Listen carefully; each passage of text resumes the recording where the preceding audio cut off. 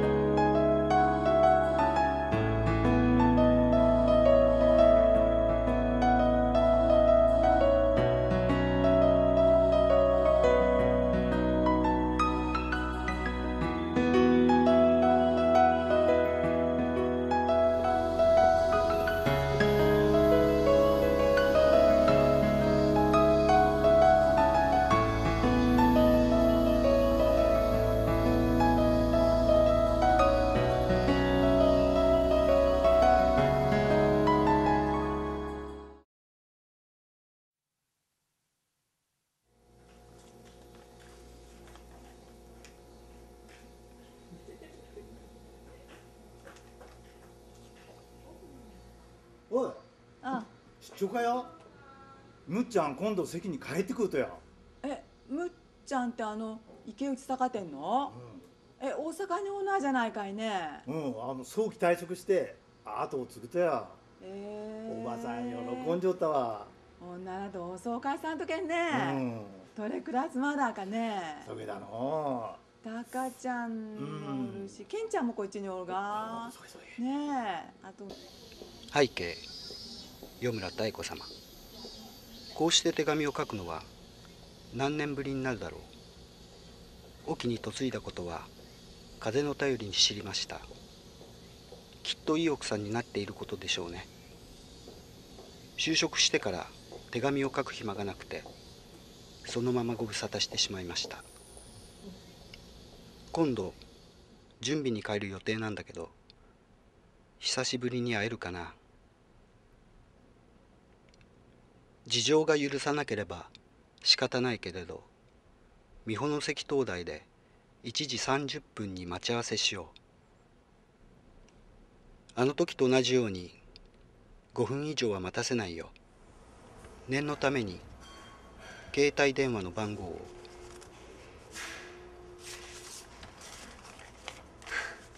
相変わらず几帳面な人。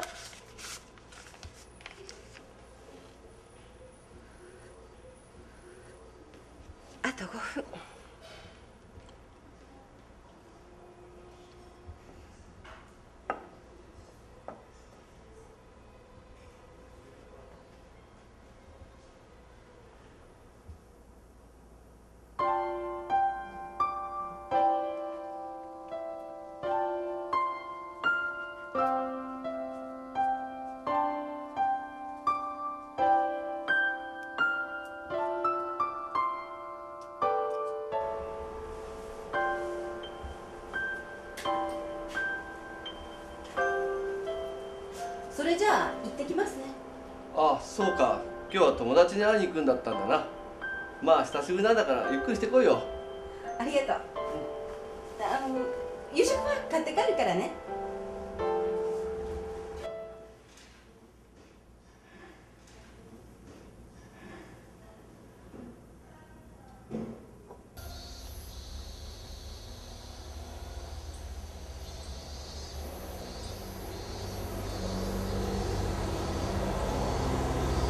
電池切れや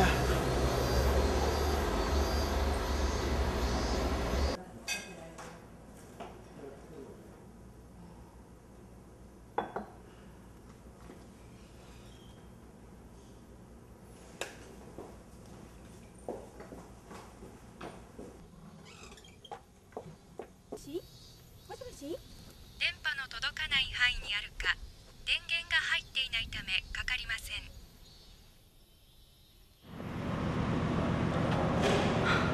ああやっぱり縁はなかったのね。さあ専業主婦に戻るとしよう。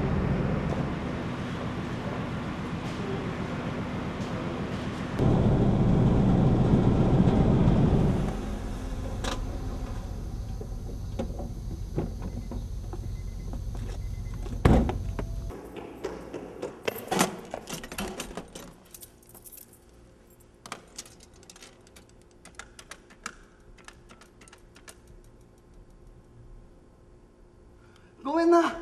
車が壊れてしもて。それにな携帯も電池切れやねん。